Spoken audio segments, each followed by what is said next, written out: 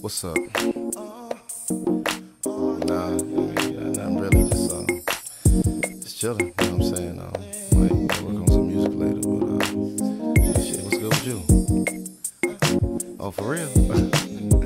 Damn, alright, that's what's up. But shit, I mean, I ain't doing nothing, so hell, come through. Well, it's a quarter past twelve on a Saturday, and I ain't even seen the sun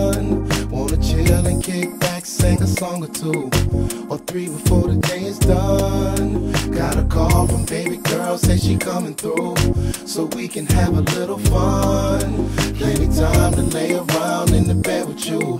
So baby, light another one. Baby, light another one. Baby, light another one.